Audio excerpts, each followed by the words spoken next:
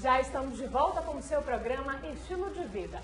E olha só, alunas finalistas, uma do curso de nutrição e a outra de gastronomia da Faculdade Metropolitana de Manaus, estão desenvolvendo pesquisas de campo para descobrirem possíveis fungos e bactérias presentes nos principais alimentos que compõem o café regional e os danos que podem trazer para a nossa saúde.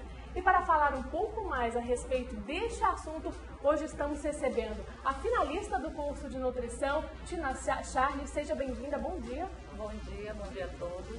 E para completar essa dupla também, a gente tem um apoio da finalista do curso de gastronomia, Suelen Raposo. Seja bem-vinda, Suelen. Bom dia. Agora a gente precisa entender um pouco mais a respeito desse projeto. Qual é o tema desse projeto? Análise microbiológica de café regional de Rio. Agora, o que, que, engloba esse café regional? Foram escolhidos alguns alimentos né, que a gente Sim. costuma ter com mais frequência nesse café da manhã dos amazonenses. Quais foram?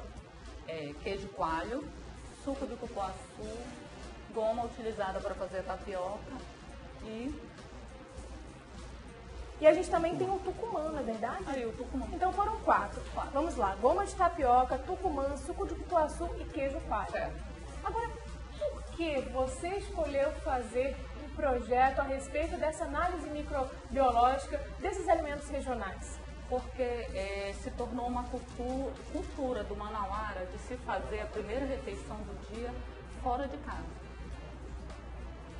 fora de casa. Aí, com tudo isso, é, gera um aspecto negativo no que se concerne segurança e higiene alimentar. Por isso, a escolha desse tema. Agora, qual foi a participação da Suelen, por exemplo, que é do curso de gastronomia? Certo. A participação da Suelen é fundamental, porque o curso de gastronomia precisa conhecer a parte microbiológica dos alimentos, até então para ter cuidado na parte da manipulação. Uhum. A questão da segurança alimentar né, dos alimentos, então a hora do preparo, isso envolve a questão do. Vamos fazer o seguinte, meninas, eu convido vocês nesse momento aí até o centro de Manaus, centro da capital amazonense, com o nosso repórter José Paulo. Sabe por quê? Porque ele vai preparar um prato típico aqui da nossa região de café da manhã. José, bom dia mais uma vez. O que, que você tem pra gente? Olá, Nádia. Estamos aqui na rua Monsenhor Continho, aqui ainda no Centro Histórico de Manaus, para saber que com a dona Socorro Moreira, ela trabalha há 14 anos no ramo de alimentação na rua, como é que ela faz os cuidados com a alimentação. Socorro, seja bem-vinda, mas o Sacha, ela que está preparando uma tapioca aí, muito bem feita, com queijo, por sinal. Então, como é que vai, é, como é os seus preparativos aí para fazer um bom alimento, é, ressaltando aí os cuidados para que não haja nenhuma contaminação? Preservando a saúde. Como que eu preservo a minha saúde? Dando o melhor de mim para, para os meus clientes. Se eu coloco o melhor para mim, por que, que eu não posso colocar para os meus clientes? As pessoas que estão comigo durante o dia. Então eu preparo com carinho, com amor, tomo os cuidados, porque além disso eu conheço a área de saúde. Então, eu procuro colocar tudo de, da forma mais higiênica possível, usando luva, usando colheres, usando o álcool em gel e preparando na frente do cliente o que ele vai comer é, esses os meus cuidados. E além disso, a nossa saúde é tudo. Faço suco de laranja, mas antes de eu utilizar a máquina, eu lavo, conservo as coisas tudo tampado como como está aqui. E acima de tudo, a nossa saúde é tudo. É o que nos, é o que nos carrega e nos faz é, ficar de pé durante o nosso dia.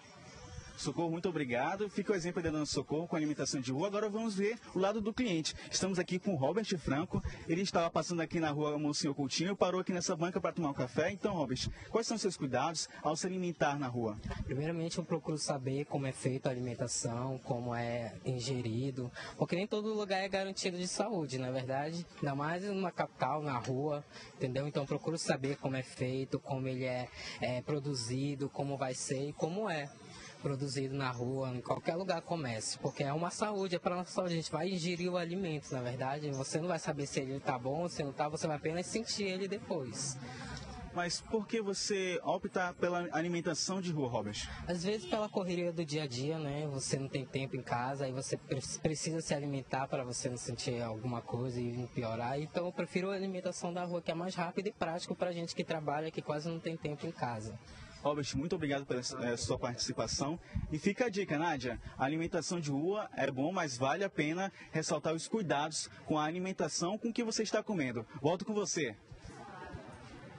Obrigada, José, pela sua participação aqui no programa Estilo de Vida. Então, a gente acompanhou ao vivo o preparo e a manipulação desse café da manhã regional aqui do Amazonense. Agora, meninas, tanto a Tina quanto a Sueli, quais desses alimentos que vocês analisaram, por exemplo, o tucumã, a goma de tapioca, o suco de cupuaçu, e tem outro também, não é verdade? Uh, o queijo coalho. Qual desses itens, digamos, foi o pior, que houve mais contaminação? dentre os quatro, acredito que é o Tucumã e o queijo coalho foram os que tiveram os resultados assim, mais marcantes. Então vocês perceberam tudo isso ao longo de quanto tempo de estudo, eh, de pesquisas de campo, com a ajuda do professor também Aldo Procopio, que daqui a pouquinho a gente vai conversar com ele a respeito dessas bactérias e fungos. Quanto tempo durou essa pesquisa? Bem, a primeira coleta, nós fizemos uma coleta em que fizemos a contagem de 24, 48 e 72 horas para cada coleta. Aí, no decorrer, nós fizemos a contagem e fizemos a comparação com os resultados adquiridos e com os resultados da Anvisa. Aí, inclusive, eu vou pedir para a nossa produção colocar no ar algumas imagens que as meninas disponibilizaram para a gente a respeito dessa pesquisa, que elas estavam falando que foi um pouco impactante, não é verdade? O que vocês perceberam nesse momento? O risco isso aqui é o que exatamente? Aqui, é a prepara... aqui, no caso, nós estamos preparando o tucumã para tirar o... a amostra para colocar nas placas que contém meio de cultura para fazer a incubação.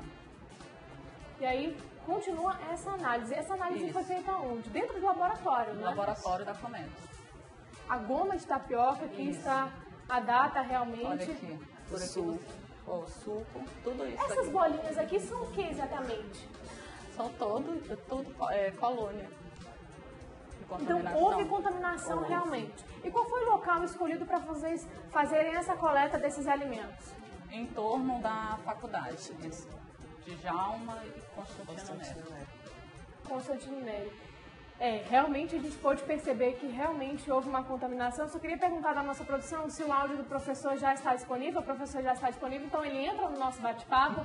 É, hoje estamos recebendo também o biólogo Aldo Procopio, que é professor da Faculdade Metropolitana de Manaus, a FAMetro, e houve participação dele no projeto de vocês também, né, meninas? Vem um pouquinho mais para cá para a gente conversar um pouco mais perto, que vocês já estão se afastando. Bom dia, professor, seja bem-vindo. Bom dia. Interessante este, este projeto porque o hábito de alimentação do amazonense pela manhã é justamente o café regional de rua. Isso está se tornando cada vez mais comum, não só nas universidades, mas em torno de empresas, de escolas. Então isso é muito comum hoje aqui em Manaus. explica um pouquinho para a gente a respeito daquelas análises que foram uh, coletadas e estudadas no laboratório. A gente conseguiu ver bem realmente alguns pontos brancos é, em cada amostra. O que é aquilo, professor? Aquelas bolinhas brancas são colônias de bactérias, de leveduras e algumas de fungo também. Então esses micro-organismos estão presentes ah, nos alimentos. E a Anvisa ela tem um limite mínimo desses ah, máximo desses micro-organismos no alimento. E alguns desses alimentos nós observamos é, que a presença desses micro-organismos chegam a mil vezes acima do limite máximo permitido pela Anvisa. O tucumã é um alimento rico em gordura, então a principal fonte de alimento de bactérias e fungos. Então é um alimento que se não for manuseado com muito cuidado, ele causa uma contaminação muito rápida. Agora, o que pode acontecer com uma pessoa que ingerir esses alimentos, por exemplo? Quais são as bactérias e fungos que a gente encontra, que vocês encontraram nessas amostras? Nessas amostras nós encontramos principalmente leveduras e coliformes, que são micro-organismos provenientes da, da, manipulação humana. Coliformes, tanto ah, totais como coliformes fecais. Né? Então, ah, nota-se uma contaminação proveniente de eh, contato com fezes. Então, esse, esses micro-organismos podem causar desde uma diarreia leve até uma, uma, uma diarreia com a presença de sangue né? e um, um, uma diarreia grave no indivíduo. Então pode agravar sim esses sintomas, a gente até falou um pouco sobre infecção, intoxicação alimentar. A gente continua falando com vocês no próximo bloco, nós vamos para um breve intervalo, mas daqui a pouquinho a gente vai saber um pouco mais sobre a importância da realização desse projeto que foram feitas aqui por alunas finalistas do curso de Nutrição e Gastronomia da Faculdade FAMETRO. Então nós vamos para um breve intervalo, daqui a pouquinho a gente volta. Até lá!